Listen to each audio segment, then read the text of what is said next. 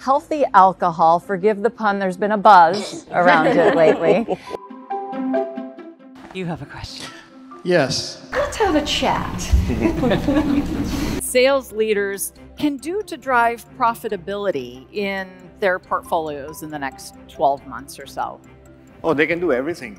Uh, I, Well, this kind of leads me to society and the idea of how all of this will change society as we're moving forward. Let's let's delve into this. How exciting. I love this voucher.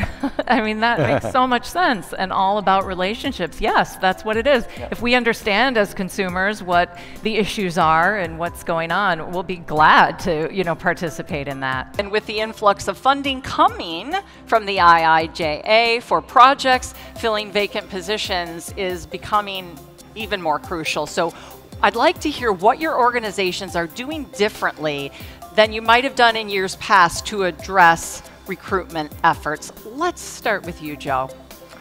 Thanks, Amy. So, In artificial intelligence, will society be able to trust this technology moving forward? So, we've talked a lot about innovation and disruption in the marketplace. I'm wondering what this really means for your clients and where do you fit in?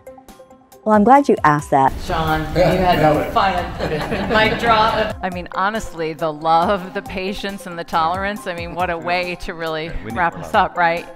This has been a fantastic conversation, and unfortunately, we are out of time for it. We really appreciate all of your insights. Thank you so much for joining us. Thank you, Amy. Thank you. Yeah, great stuff.